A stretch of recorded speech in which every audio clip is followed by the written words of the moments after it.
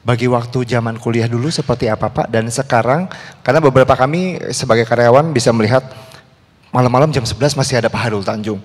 Besok jam 12 masih ada Pak Hairul Tanjung juga. Bagi waktunya semasa kuliah dan sekarang sebagai pengusaha bagaimana Pak?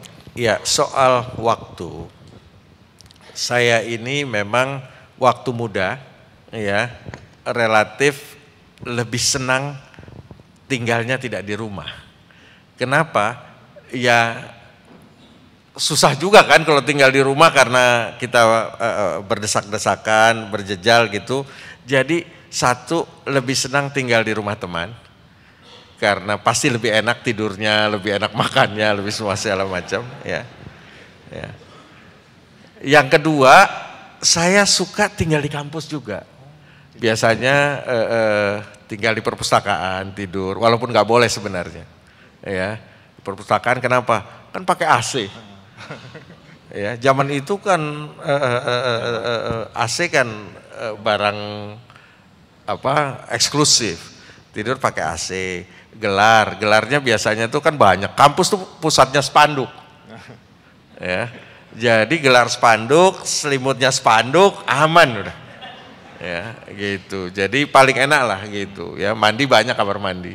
Jadi dan pasti kamar mandi di kampus lebih bagus dari kamar mandi saya di rumah kan jadi itu ini. Nah, soal bagi waktu memang mumpung masih muda ya, itu saya memang termasuk tipe yang bekerja keras. Contohnya, saya itu kalau mendekati masa ujian, itu belajarnya adalah dini hari Gitu. Kenapa? Karena kalau pulang dari kampus misalnya jam 11, jam 12 malam itu kan sudah capek, penat sekali gitu loh ya karena urusan organisasi, urusan kuliah, urusan semua segala macam, penat sekali. Jadi saya biasa saya tidur. Saya bangun jam 3 pagi. Ya. Itu saya belajar.